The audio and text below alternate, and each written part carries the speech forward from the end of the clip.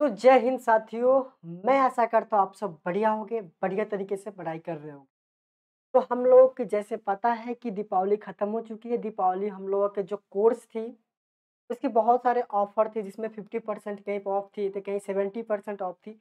इस तमाम चीज़ें आपने वो सारे सफ़र को अ, पार कर चुके हैं। अभी भी अगर आप चाहते हैं हमारे कोर्स को ज्वाइन करने के लिए, तो देखिए व्हाट्सएप नंबर दिखाई दे रहा होगा, ठीक है? इसमें से किसी भी व्हाट्सएप पर आप कॉन्टैक्ट करके आप कोर्स के बारे में जानकारी ले सकते हैं, ठीक है? हम लोग पढ़ रहे थे आर्टिकल, क्या पढ़ रहे थे साथियों? आर्टिकल। समझना है बारीकी से छोटी-सी इन्फॉर्मेशन थी जो मुझे बताना था, बट हमारी जो अभी क्लास चल रही है वो है आर्टिकल की, समझना यहाँ पे। हम लोग आर्टिकल पढ़ रहे हैं, ठीक है? आर्टिकल पढ़ रहे हैं, आर्टिकल में हम लोग क्या पढ़ रहे थे साथियों? तो डेफ़िनिट आर्टिकल पढ़ रहे थे। क्या पढ़ रहे थे मेरे प्यारे दोस्तों? हम लोगों ने साथियों डेफ़िनिट डेफ़िनिट आर्टिकल पढ़ रहा था। इसमें हम लोगों ने दो रूल कर चुके थे, दो रूल को हम लोगों ने टॉक यानी कि उस पर चर्चा कर लिए थे दो रूल के बारे में, ठीक है? हम लोगों ने डेफिनेट आर्टिकल पढ़ रहा था जिसमें हम लोगों ने दो रूल के बारे में चर्चा कर लिया। समझना बहुत प्यार से, बारीकी से। हमने पहले जो रूल था उसमें सिखाया था, पहली बात कि आप अ, आपके मार्केट में जो भी ऑक्सफोर्ड जूनियर इंग्लिश ग्रामर मिलता होगा बुक, वो ले लेना है आपको मार्केट से जा कर के, ज़्यादा इसका कॉस्ट नहीं है। मुश्किल से पड़ता होगा यही पचास साठ रुपये में, अदरवाइज़ आप मेरे प्रीमियम कोर्स के जो बच्चे हमारे कोर्स में ज्वाइन किए होंगे, उनकी इसकी पीडीएफ बिल्कुल फ्री ऑफ़ कॉस्ट में मिलती है, ठीक है? कोई इसके लिए चार्जेस नहीं पे करना पड़ता। जो 199 का कोर्स था, जो अभी भी वैलिड है, 16 नवंबर तक उसका डेट है, ठीक है? 16 नवंबर तक जाकर के उसमें अभी आप एनरोल कर सकते हो, ठीक है? तो इसकी अ, अभी जो अवधि बोलते हैं ना, टाइम ड्यूरेशन अभी 16 नवंबर तक है, आप जाके ज्वाइन कर सकते हो, वहाँ पर चार्जेस नहीं लगेंगे पीडीएफ की, ठीक है? अदरवाइज़ आप मार्केट से बुक खरीद सकते प्रैक्टिस के लिए।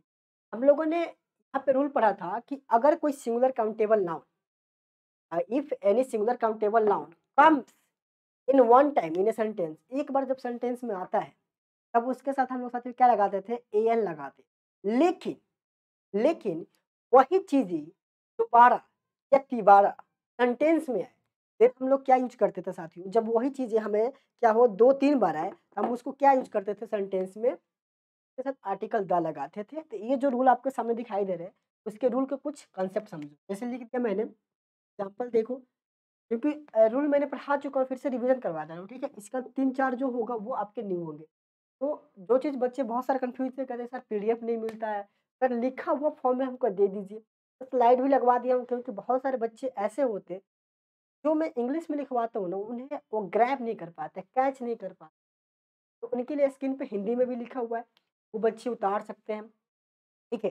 प्यार से लिखा हुआ है अगर कोई सिंगुलर काउंटेबल नाउन वाक्य में पहली बार आए, वाक्य में पहली बार आता है तो ए या एन लगाता है अकॉर्डिंग टू प्रोनंसिएशन, उसके प्रोनंसिएशन के अकॉर्डिंग पर, ठीक है? लेकिन जब वही वाक्य जब वही वर्ड, जब वही नाउन क्या हो?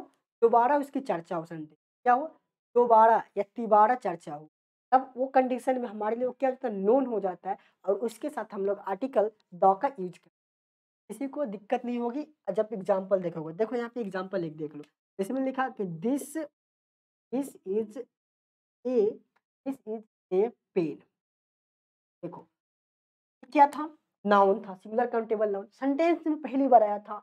ये हमारे लिए अननोन था। जब हमारे पास अननोन हो, क्या हो? अननोन हो। हमने क्या सीखा था? समझना, अननोन हो, क्या हो? हाँ। काउंटेबल हो, ठीक है? और क्या हो? इंडेफिनिट हो, यानी कि अनिश्चित है, कोई हमारा निश्चित नहीं है कि कैसा नाउन है, कौन-सा कलम है, हमें गारंटी नहीं है बट हमने कहा कि I this is a pen, ये कलम है बट एक फिक्स नहीं है कि ये पेन कैसा है, क्या इसके बारे में जानकारी नहीं है, हमें डिटेल नॉलेज नहीं है, तो पेन क्या हमारे लिए अननोन है। तब उस कंडीशन में हम लोग इसके साथ आर्टिकल ए का यूज़ कर लेकिन इसी सेंटेंस में हम ऐसे लिख दे फिर कि खाली स्थान पेन इज़ रेड। अब मुझे बताओ साथियों यहाँ पर ए लगेगा या द लगेगा? एन तो लगेगा नहीं क्योंकि इसका प्रोनंसिएशन कॉन्सोनेंट है, तो कॉन्सोनेंट के साथ आर्टिकल एन का यूज़ नहीं करते। अब मुझे बताओ ए लगेगा या एन लगेगा? जल्दी से बता दो कमेंट करके मेरे प्यारे साथियों। फटाफट बताओ, इसी से आपके सारे जो रूल है ना, रूल जो लगे ना, ये रूल कंसेप्ट क्लियर हो जाएँगे, बिल्कुल क्लियर हो जाएँगे। बताओ इसके साथ ए लगाओगे या द लगाओगे? तो प्यारे साथियों ये रूल कह रहा है कि जब दोबारा चर्चा हो उसी के बारे में, तब हम आर्टिकल द का यूज़ करें। बताओ यहाँ पे क्या लगेगा? यहाँ पे द लग जाएगा ना? The pen is red. This is a pen. The pen is red. पढ़ सकते हो ना? This is a pen. The pen is red. यह कलम है। कलम लाल है। हाँ समझ रहे हो ना? आ जाओ दूसरा एग्ज़ाम्पल देख लो। हाँ देख लो। हाँ एक और एग्ज़ाम्पल देख लो। एग्ज़ाम्पल से साथ ही आपके बहुत सारे डाउट्स क्लियर हो जाएँगे, ठीक है? एग्ज़ाम्पल करते चलो, फिर सारे डाउट्स आपके क्लियर होते चलो। सेकेंड एग्ज़ाम्पल देख एक और एग्ज़ाम्पल जैसे लिख सकते हैं आई हैव ए बुक लिख सकते हैं आई हैव अ बुक ठीक? यहाँ पे बुक क्या था? पहली बार चर्चा हुआ। ठीक है? इसी में और सेंटेंस लिख सकते हैं। इसी में लिख सकते हैं the book is costly the book is important the book is very important कर सकते कॉस्टली लिखो ना सी चलो, देखो आई हैव मेरे पास एक किताब है। किताब क्या है? महँगी है। I have a book the book is costly महँगी है। अब देखो बुक पहली बार चर्चा हुआ था सेंटेंस में था आर्टिकल ए लिया था। लेकिन इस बुक का चर्चा फिर इसी सेंटेंस में कर दिए दोबारा कर दिए तो द बुक लगा दी, ठीक है? समझ रहे हो ना? समझ रहे हो ना? तो इस तरीके से आप क्या कर सकते हो? आर्टिकल ए, आर्टिकल द का यूज़ कर सकते हो। समझ गए ना? अब तो इसमें किसी को दिक्कत नहीं ना होगा। एस सी में जिसमें दो बार चर्चा हो। अब आ जाओ हमारे सेकेंड लाइन की तरफ़ आ जाओ।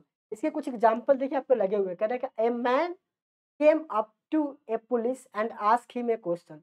एक आदमी आता है पुलिस के पास और उससे क्या करता है? क्वेश्चन पूछता है। The policeman didn't understand the question so he ask the man to repeated it अब देखो इस क्वेश्चन के समझो। मैं इसको लिख देता हूँ यहाँ पे फिर समझना। मैं इसी चीज़ों को लिखता हूँ और समझाने के प्रयास तो वहाँ पे लगा हुआ है। ठीक है? क्योंकि आपकी देख करके समझ। देखिए यहाँ पे लिखा हुआ है a man came up, a man came up, came up to a policeman, to a policeman. समझना? Police man. ठीक है? यहाँ पे इसके बाद फिर क्या है? Come to policeman and and लिख देंगे। And asked. Asked him. him a question a उस ठीक है? ठीक है, फिर इसके बाद देखो, यहाँ पे हो जाएगा, the policeman didn't didn't understand understand the question इससे सारा आपका डाउट क्लियर हो जाएगा मैं the question to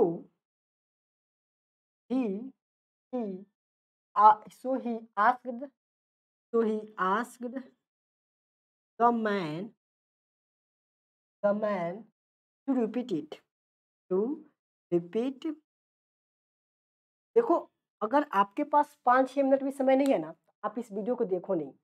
बिल्कुल भी समझ में नहीं आएगा, आपके लिए नहीं बना हुआ है। बट वो बच्चे अगर सीखना चाहते जो वाकई में पढ़ना चाहते वो प्यार से समझे। देखो। ऊपर में सेंटेंस दिया कह रहा है कि a man came up to a policeman यहाँ पे जो मैन है मैन की चर्चा इस वाक्य में, ऐसे ही तो रहता है सेंटेंस में। ऐसे ही तो सेंटेंस में दिए रहते कुछ नहीं रहता, बस ऐसे ही रहते हैं। इस सेंटेंस में मैन की चर्चा पहली बार हुआ है तो इस निकल क्या लिया था? समझ रहे हो ना? यहाँ पर हम लोग रूल यही ना पढ़े हैं साथियों, कि अगर कोई सिमिलर काउंटेबल ना बताओ सिमिलर है ना काउंटेबल है ना मैन को गिन सकती हूँ ना? तो पहली बार आया तो आर्टिकल ये लगेगा, ठीक अरे केम अप टू ये पुलिस मैन पुलिस मैन भी नाउन है। इसके साथ पहली बार ये पुलिस मैन की चर्चा हुआ, ये लगा दिए। फिर देखो यहाँ पे क्वेश्चन क्वेश्चन की बात भी पहली बार हुआ है। यहाँ तक सेंटेंस है ना, एक एक वाक्य यहाँ तक है। फिर ये क्या हुआ? पहली बार ही चर्चा हुआ तो इसलिए इसके साथ आर्टिकल ये लगा दिए। दिक्कत हो तो बताना, अब देखो। फिर पुलिस मैन की चर्चा दोबारा हुआ, यहाँ फुल स्टॉप है। फुल स्टॉप के बाद फिर पुलिस मैन आ गया। पुलिस मैन एक बार यहाँ पे आ चुका था, लेकिन अब दूसरी बार आ रहा है, पहली बार यहाँ आया था। ये भी पहली बार था। प्यार से समझना, बहुत बारीकी से समझना, बिल्कुल आसान है। समझना चाहो तो। फिर देखो यहाँ पे पुलिस मैन दोबारा आया, यानी कि दोबारा आया। अब वो क्या कह रहा है? देखो तो अगर कोई सिंगुलर काउंटेबल नाउन वाक्य में पहली बार आता है तो एन लगाएँगे, लेकिन अगर वही नाउन वही नाउन के मतलब जो पहले बार आया था, पहली बार पुलिसमैन था, फिर वही पुलिसमैन आया। इसके साथ क्या करेंगे हम लोग? आर्टिकल द का यूज़ कर, क्या कर दोगे? आर्टिकल द लगा दोगे। बताओ इसके साथ आर्टिकल अब द लगा है तो क्या गलत है? नहीं, आर्टिकल द सही है। अब आ जाओ। फिर देखो यहाँ पे क्वेश्चन। क्वेश्चन यहाँ भी आया था। फिर यहाँ पे दूसरी बार आ गया क्वेश्चन, दूसरी बार आया ना तो फिर इसके साथ हम क्या कर सकते हैं? आर्टिकल द लगा सकते रिको रुके रहो रुके रहो फिर देखो, मैन मैन मैन मैन यहाँ पे था। मैन एक बार आया था यहाँ पे। फिर देखो मैन यहाँ दोबारा आया है ना। दूसरी बार मैन आया है ना, इसलिए इसके साथ आर्टिकल द का यूज़ कर बताओ यहाँ तक किसी को दिक्कत हुआ है तो मुझे बता दो साथ। हम्म? यहाँ तक किसी को दिक्कत हुआ है तो बता दिक्कत तो नहीं होनी चाहिए मेरे हिसाब से। ऐसे ही एरर रहते हैं आपके एग्ज़ाम में, कुछ नहीं रहता साथियों बस ध्यान यही रहता देखो क्या करेंगे, आपको एग्जामिनर बताता हूँ आपको। एग्जामिनर कुछ नहीं करते, वो थोड़ा सा आपको दिमाग का टेस्ट लेते हैं। जैसे देखो कैसे देंगे क्वेश्चन आपके एग्ज़ाम में, कैसे, किस लेवल के आते हैं। जो भी आपका कम्पिटेटिव एग्ज़ाम होता है ना सर तो ये एयरफोर्स के ही ले लो ना, उसमें आते रहते हैं, ठीक है? तो उसमें करते क्या है, देखो। कुछ नहीं रहता, बस आपके एजर टाइप में क्वेश्चन रहता है, ज़्यादा कुछ हार्ड नहीं होता है। लेकिन बशर्ते आपको जो भी कुछ बताया जाता है, उस पर ध्यान रखे हुए तो बहुत अच्छे तरीके से देखो जैसे देता है। जैसे यहाँ पे खाली स्थान दे देगा, जैसे दे दिएगा यहाँ पे, जैसे दे देगा the book the book the book ऐसे कर दो, रुको। आई हैव द बुक ठीक है? प्लस ये हो जाएगा। प्लस ये चलो यहाँ पे छोड़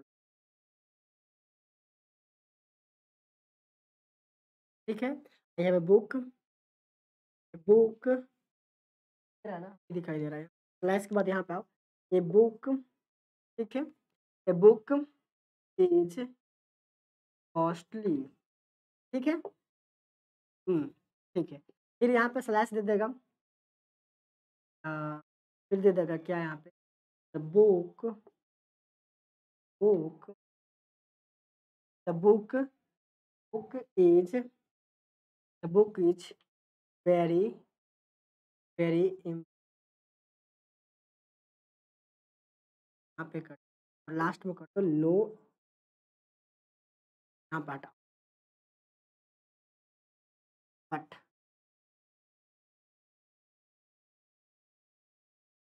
आ जाओ। देखो, ऐसे ही क्वेश्चन देते कुछ नहीं रहता। जैसे पहला, पहले दे दिया आई हैव ए बुक ठीक है? A book is costly but the book is very important no error अब बताओ, यहाँ पे एरर किसमें है? किस पार्ट में गलतियाँ हम लोग की है? बताओ, यहाँ पे कहाँ पे हम लोग की गलती है? एरर ऐसे ही क्वेश्चन आता है आपके एग्ज़ाम में कुछ नहीं रहता है। और यहाँ पे कुछ गलती है एरर किस पार्ट में बताओ देखो, मैं पढ़ने की स्टार्ट करता हूँ। देखो, पहला सेंटेंस स्टार्ट किया आई हैव ए बुक यहाँ तक तो कोई गलती नहीं है, क्योंकि सेंटेंस में पहली बार चर्चा हुआ था। हम लोग आर्टिकल ए लगा लिया, कोई दिक्कत नहीं। अब देखो, उसी सेंटेंस में बात चर्चा हुआ ए बुक इज़ कॉस्ट जैसे ही ये बुक देखा तो दिमाग में टिकर क्लिक करना चाहिए। सर जी, आपने तो एक रूल लिखवाया था। शशि जी, आपने एक रूल लिखवाया था क्या? कि नाउन दोबारा चर्चा हो, वही नाउन फिर से दोबारा आ जाए सेंटेंस में। हम वहाँ पे आर्टिकल ए एन का यूज़ नहीं करते आर्टिकल द का यूज़ करते बताओ एरर यहाँ पे था ना? यानी कि बी वाला पार्ट में एरर था ना? यहाँ पे क्या कर सकते हैं? एक जगह पे क्या लगा सकते हो? देन आपका सेंटेंस विल बी राइट तब ऐसे क्या हो जाता? सेंटेंस सही हो जाता। समझ गए ना? कोई दिक्कत आपत्ति तो बता दो। इसी तरीके से सेंटेंस आते हैं आपके एग्ज़ाम में। कुछ नहीं होता है। बस बसरते आपको ध्यान देना होता है। ठीक है पैटर्न बता दिया कैसे एग्ज़ाम में। अब रूल दूसरे जो रूल टू है, उसकी तरफ़ आप लोग बढ़ने की प्रयास बस आप थोड़ा बहुत भी अगर गौर करोगे ना बड़े तरीके से पढ़ोगे, जो भी ट्वेल्थ एग्ज़ाम के ट्वेल्थ के बोर्ड के एग्ज़ाम होता है ना, उस लेवल तक करवा सकते मतलब करवा दूँगा आपको, जो भी बोर्ड एग्ज़ाम हो, बता देना। उसकी सारी मैं चीज़ जो बी जो क्वेश्चन होते हैं, ग्रामर से रिलेटेड जितने भी क्वेश्चन होते हैं, वो तो सारे आपसे सॉल्व हो जाएँगे। ठीक है? ये बहुत सारे कंसेप्ट ट्रिक भी होते हैं। जब ये चीज़ हम लोग कर लिए ना, अब देखो, दूसरा रूल कह रहा है सिंगुलर काउंटेबल नाउन के पहले जिससे पूरी जाति, यानी जाति समझते हो ना, जैसे मैं एक लड़का हूँ, मेरा क्या एक लड़का जाति है? बाघ बाघ एक क्या, अपने अपने कम्युनिटी स्पेसिस दिखा रहा है। जैसे शिक्षक क्या एक अपने स्पेसिस जाति को रिप्रेजेंट तो उसके साथ आर्टिकल द का हम लोग यूज़ करते लेकिन रूल ये भी कहता है हम लोग ए या एन का प्रयोग करने से कोई फ़र्क नहीं पड़ता अब देखो बहुत सारे टीचर और बहुत सारे स्टूडेंट इसमें बहुत ज़्यादा कन्फ्यूज़ रहते हैं। मेरे से प्यारे साथियों तो मान तो दोस्त ही हैं, जो पढ़ाते हैं, उन्होंने क्वेश्चन के सर इसमें मैं कन्फ्यूज़ रहता बहुत सारे लोग कन्फ्यूज़ रहते हैं कि सर ए एन लगा या द लगा रूल बहुत कन्फ्यूज़न है ये वाला। समझना यहाँ पे प्यार से समझोगे बहुत आसान है। समझना। जो हम आर्टिकल द लगाते हैं, जो आर्टिकल द का यूज़ करते हैं वो पुराना रूल है, यानी कि ओल्ड रूल है, समझ रहे हो ना?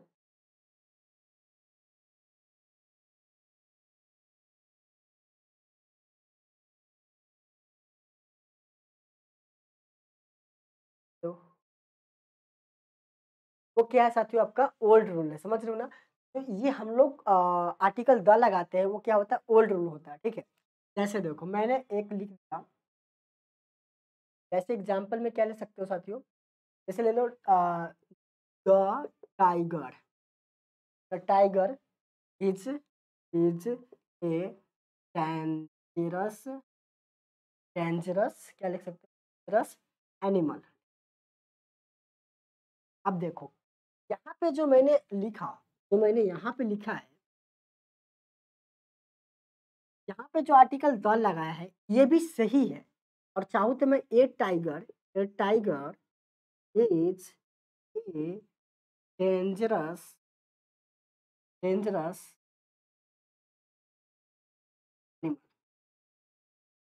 A भी लिखूँ तब भी सही है। मैं चाहूँ तो आर्टिकल द भी लगाऊँ, ए भी लगाऊँ तब दोनों कंडीशन में सही है, बट समझने की प्रयास ये जो आर्टिकल द होता लगता है ये ओल्ड रूल है, यानी कि पुराना रूल है, ओल्ड रूल है। क्या ऐसा है साथियों पुराना रूल है और जो आर्टिकल ए या एन का यूज़ करते हैं न्यू है। तो मुझे बताना आप किस ज़माने के हो? अभी आप न्यू ज़माने के हो या ओल्ड ज़माने? प्यार से सोचना फिर कमेंट करके मुझे हाँ, बहुत सारे बच्चे कन्फ्यूज़ रहते हैं, बहुत सारे टीचर लोग भी कन्फ्यूज़ रहते हैं, हमारे जो मित्रगण थे, वही पढ़ाते हैं हमारे साथ। तो इस इन दोनों में कन्फ्यूज़ रहते हैं। देखो साथियों मैं बताना चाहता हूँ कि ये जो आर्टिकल द का यूज़ करते हो, आर्टिकल ए एन का यूज़ करते हो, दोनों कंडीशन में सेंटेंस बिल्कुल सही है, गलत नहीं है।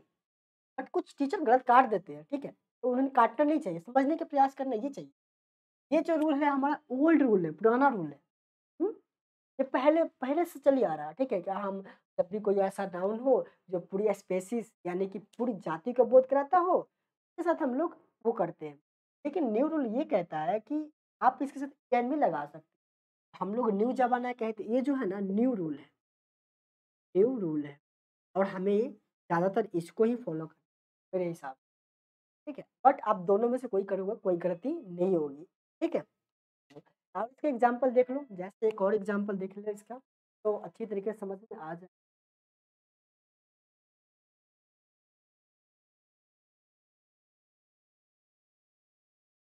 और एग्ज़ाम्पल देखो, इसके कुछ और एग्ज़ाम्पल हम लोग देख लेते हैं, बाद क्या हो जाएगा हम लोग को डाउट्स जो भी है हम लोग का क्या हो जाएगा साथियों क्लियर हो जाएगा। जैसे देख लो, क्या कर सकते हैं साथियों जैसे लिख सकते हैं for example the cow is the cow is gentle? The cow is gentle animal. ठीक है? The cow is gentle animal, ठीक है? समझ रहे हो ना? काऊ इज़ जेंटल एनिमल, चाहो तो आप कर सकते हो ए काऊ इज़ ए काऊ कैसे कर सकते काऊ इज़ जेंटल एनिमल। दोनों कंडीशन में सेंटेंस सही है। दोनों कंडीशन में सेंटेंस क्या है? सही है। बट ये जो आर्टिकल आर्टिकल द का यूज़ करती है, ओल्ड रूल है। आर्टिकल ए या एन का यूज़ करते हो, वो न्यू रूल है। समझ रहे हो ना? आर्टिकल द का यूज़ करते हो वो ओल्ड रूल है, ये न्यू रूल है। ये चीज़ें अपनी कॉपी में नोट कर लेना, किताबों में नहीं रहता है कि ये कौन-सा ओल्ड रूल है, कौन-सा न्यू। ठीक है? ये जब आप धीरे-धीरे अभ्यास करोगे तो आपको सीखने को मिल जाएगा। लेकिन इसमें कुछ चीज़ें और भी होती है जो आपको जानना होगा बुक से हट के। थोड़ा मैं बता वो भी डिस्कस कर देता हूँ। वो भी आपके लिए बहुत इम्पोर्टेंट है। जैसे देखो बुक से हट के चलोगे तो एक चीज़ और आपको जानना पड़ेगा। जैसे एक वर्ड होता है साथियों मैन एक वर्ड होता है साथियों वुमेन और वर्ड होता है साथियों? काइंड हाँ, मैनकाइंड। हुँ, ठीक है। जब ये तीन वर्ड मैन, वुमेन, मैनकाइंड क्या करे पूरी क्लास को रिप्रेजेंट। जब मैन की बात हो पूरी क्लास की कम्युनिटी इंटायर वो क्या करे अपने क्लास क्लास को रिप्रेजेंट करे खुद की मीनिंग में। यानी कि इट्स सेल्फ मीनिंग में अपने आप को रिप्रेजेंट करे। यानी कि जैसे कि हम लोग कहते हैं क्या आदमी मननशील होता है मैन इज़ मोटल आदमी मननशील होता है। यानी कि आदमी क्या अपने, पूरी आदमी की बात कर दे इंटायर अपनी क्लास की बात कर दे इंटायर अपने स्पेसिस की बात कर दे। कौन वाला word man women man cat ये तीनों में से कोई हो, ज़्यादातर आपका इसी से आते हैं कन्फ्यूज़न रहता है, इसमें और इसमें कन्फ्यूज़न ये तो ज़्यादातर आता ही नहीं है बट ये भी फिर भी रहता है। ठीक है ये दो चीज़ याद रखिए इसे हटा ही दीजिए। आप कन्फ्यूज़ हो जाएँगे तो फिर दिक्कत वाली ज़्यादातर मैन और वुमेन वाला बात आ जाता है। तो जब मैन और वुमेन की बात हो और वो क्या करे क्या करे बताओ? पूरी इंटायर अपने जो भी उसके क्या बोलते हैं इंटायर क्लास को रिप्रेजेंट करें, उनके वर्ग को रिप्रेजेंट करें, अपने आप में खुद की मीनिंग में, तब उसके साथ हम लोग आर्टिकल का यूज़ नहीं डिफरेंट आर्टिकल ही नहीं, कोई भी आर्टिकल नहीं यूज़ कर सकते। जैसे देख लो एग्ज़ाम्पल देखो, समझो एक्सेप्शन कुछ होते हैं। जैसे यहाँ पे मैं लिखने की कोशिश करूँ तो man is social animal man is social देखो एनिमल मतलब जानवर ही नहीं होता है, प्राणी भी होता है। तो आदमी क्या होता है? एक सामाजिक प्राणी है। आदमी क्या है? एक सामाजिक प्राणी है। समझ रहे हो ना? बहुत सारे बच्चे इसको मैन इज़ मोटल भी लिखता है। लिखता है मैन इज़ मोटल देखो, यहाँ पे मैन के साथ हम लोग कोई आर्टिकल यूज़ नहीं। कोई आर्टिकल यूज़ हुआ है? बताओ मेरे को साथियों। कोई आर्टिकल का यूज़ नहीं किया, क्योंकि ये जो मैन है ना, पूरी अपनी जाति को रिप्रेजेंट पूरी मानव जाति की बात कर मैन सिर्फ़ एक मैन के लिए नहीं, पूरी मानव जाति की बात कर वुमेन पूरी नारी जाति की बात कर उस कंडीशन में हम साथ आर्टिकल का यूज़ नहीं कर सकते, नहीं करेंगे, किसी भी परिस्थिति समझ गए ना? किसी भी परिस्थिति में इसके साथ आर्टिकल का यूज़ डेफिनेट आर्टिकल ही नहीं, कोई भी आर्टिकल नहीं लगेगा। समझ गए? चलो हम लोग चलते हैं नेक्स्ट रूल की तरफ़। बहुत प्यारा सा रूल है।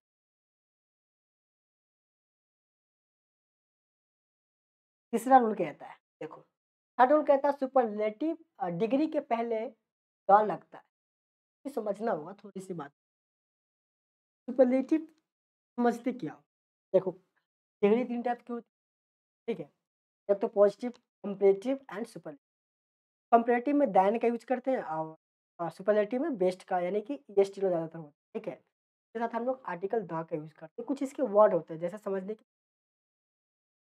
जब कोई वर्ड नहीं बन पाता, उसका हम लोग सुपरलेटिव में कन्वर्ट नहीं करते तो उसके साथ मोस्ट का यूज़ करते पता है ना आपको? ये चीज़ जब डिग्री में पढ़ेंगे तो बहुत अच्छी तरीके से समझ पाएँगे, लेकिन फ़िलहाल अभी हमको समझना है कि सुपरलेटिव डिग्री के पहले आर्टिकल द का यूज़ कैसे कर सकते कैसे सकते हैं। एग्ज़ाम्पल देखो, फिर समझ जाओ। You are my best friend you are my best friend ठीक है? आप देखो, एक और सेंटेंस है। मुझे बताना है आपको, वो चीज़ें तो अभी बुक में है, सारी चीज़, जो चीज़ पढ़ना है, लेकिन मुझे आपको जो कन्फ्यूज़न है, उसको दूर करना है। जैसे देखो, यहाँ पे लिख दिया मैंने you are my the best friend मुझे बताओ, दोनों में सेंटेंस कौन सा सही है? अभी तो आपने रूल पढ़ लिया। सुपरलेटिव डिग्री के पहले आर्टिकल द लगा लेंगे। लेकिन बताओ यहाँ पे सुपरलेटिव डिग्री बेस्ट तो है? भाई, good best, good better best, यही तो होता है ना। भाई, गुड बेटर बेस्ट, बेटर क्या कंपेरेटिव हो गया, बेस्ट क्या सुपरलेटिव हो गया। लेकिन रूल वही कहता है कि सुपरलेटिव डिग्री के पहले आर्टिकल द लगाते हैं। तो मुझे बताओ, इसमें सेंटेंस कौन सा सही है? क्या ये सेंटेंस हम लोग जो बेस्ट के पहले आर्टिकल द लगाए, सेंटेंस सही है या गलत है? क्या ये गलत है, क्या ये सही है? दोनों में से एक तो गलत है। आप जल्दी से फटाफट कमेंट में मुझे बताओ। फिर इसके बारे में चर्चा कर लेते हैं हम लोग।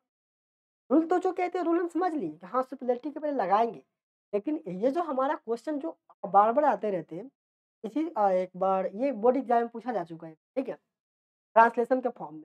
इसे ग्रामर फॉर्म में नहीं पूछा था, ट्रांसलेशन के फॉर्म में पूछा था। तो बहुत सारे बच्चे ऐसे ही बनाए थे, बहुत सारे बच्चे ऐसे ही बनाए थे। तो मुझे बताओ सेंटेंस दोनों में से कौन सा सही है? You are my best friend या you are my the best friend जल्दी बता दो। देखो साथियों, मेरी बात मानो। ये सेंटेंस जो नीचे वाला है, पर माई द बेस्ट फ्रेंड गलत है ये सेंटेंस बिल्कुल हंड्रेड परसेंट प्योरिटी के साथ बोल सकते हैं सही है। कैसे?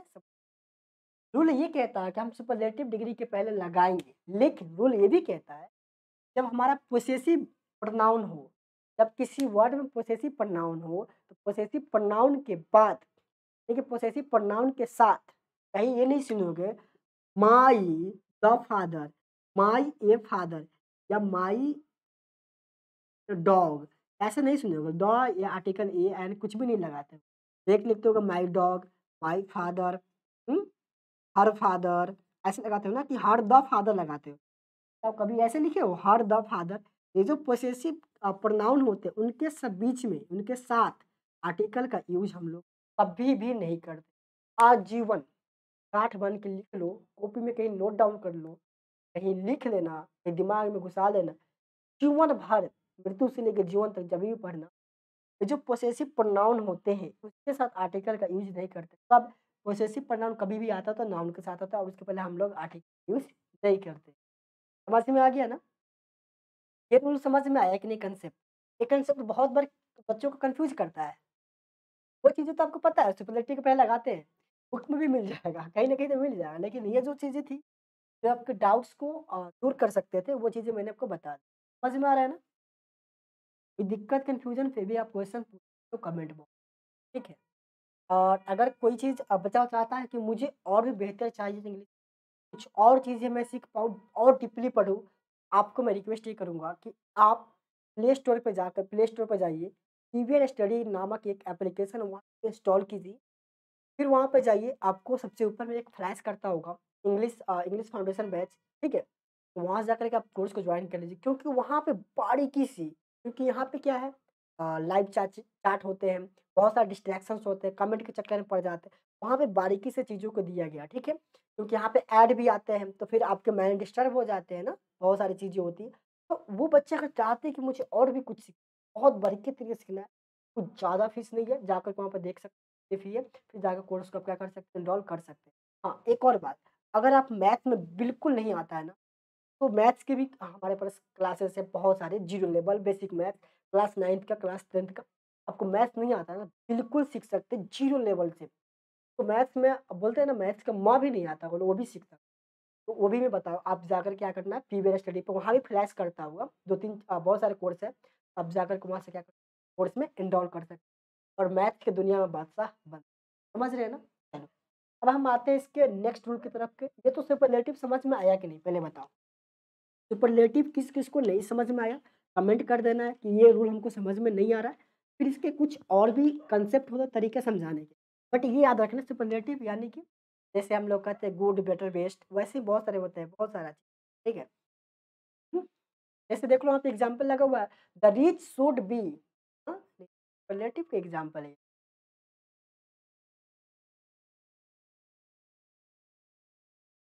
तो जैसे देख लो मैं यहाँ पे एग्जांपल देता हूँ एग्जांपल पे कंफ्यूजन है थोड़ा सा ओके तो यहाँ पे देख लो।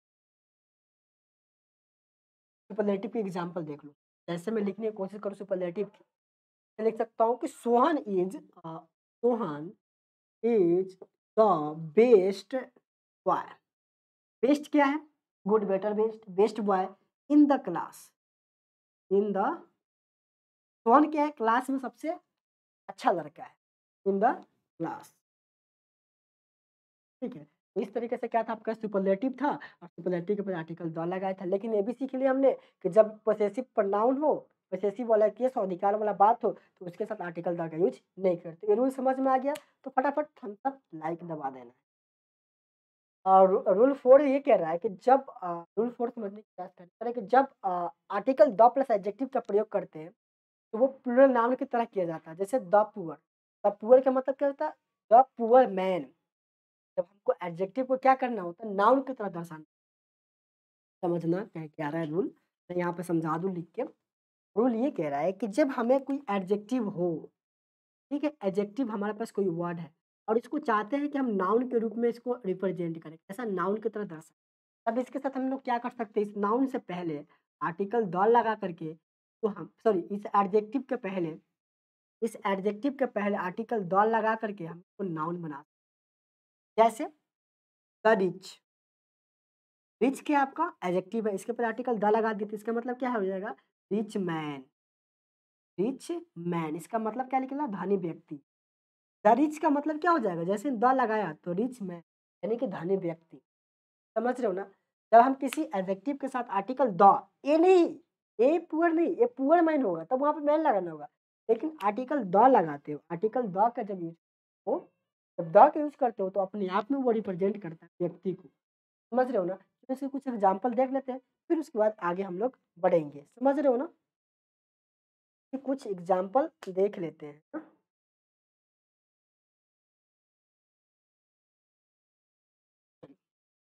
कुछ एग्ज़ाम्पल देखो।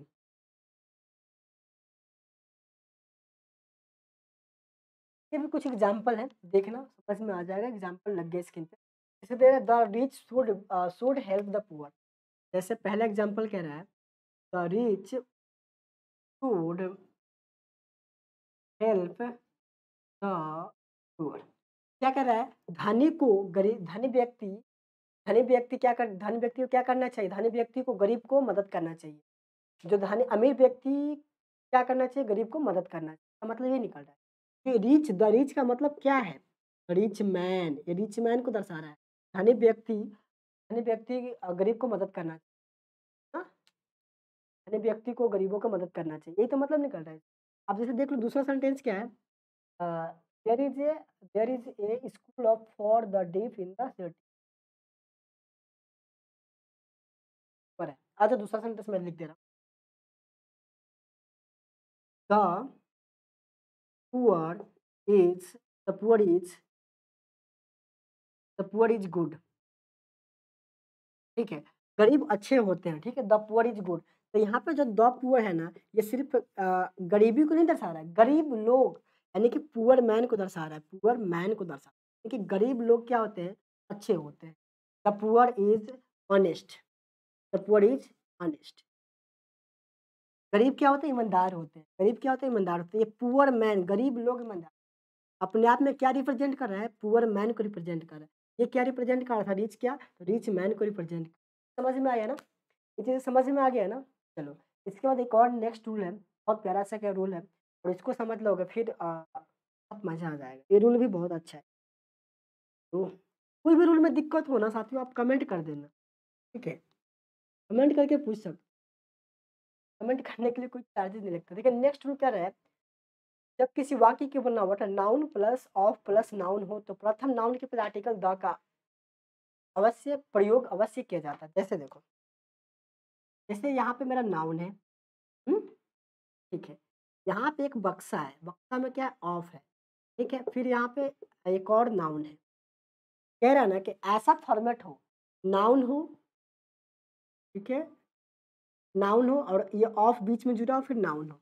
तो कहता है कि ये एक नाउन हो गया, एक ये। तो जो इस ऑफ़ के पहले, ऑफ़ के पहले जो नाउन होता है ना, उसके साथ हम लोग आर्टिकल द का यूज़ करते है। कि जो ये वाला नाउन होगा ना, इसके साथ हम लोग द का यूज़ करेंगे। जैसे जैसे एग्ज़ाम्पल देख लो, कुछ और एग्ज़ाम्पल देख लो। जैसे he likes he likes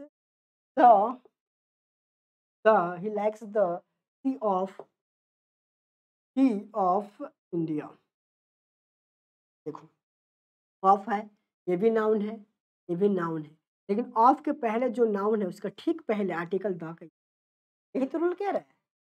यही तो रूल कह रहा है कि जो यहाँ पे ये जो ऑफ़ है, ऑफ़ के बाद भी नाउन आता है तो हमको पता है। लेकिन जब ऑफ़ के पहले जब नाउन है तो उस नाउन का ठीक पहले आर्टिकल द का तब ये रूल समझ, मुझे बता दो जल्दी से। रूल समझ में आ गया आपको तो दोस्तों के साथ शेयर कर देना है। अगर पीडीएफ चाहिए तो टेलीग्राम जाकर ज्वाइन करना, टेलीग्राम के लिए आपको सर्च करना होगा, टेलीग्राम पर जाकर क्या टी वी आर एस ठीक है? फिर स्टडी सर्च करोगे, ठीक है? ग्लोबली सर्च दिखाएगा, वहाँ से जाकर ज्वाइन कर लेना वहाँ पे अपडेटेड आपको हमेशा मिलते रहते हैं। वहीं पे आपको पीडीएफ फ्री ऑफ़ कॉस्ट मिल जाएगा। अगर चाहते हैं बारीकी से सब कुछ सीखना तो आपको एप्लीकेशन पर जाना पड़ेगा। बाकी क्लासेस आपको रोज़ शाम पाँच बजे यूट्यूब पर मिलते ही हैं। बस आज के लिए इतना ही। जय हिंद। वंदे मातरम पढ़ते रहिएगा बढ़ते रहिएगा। Thank you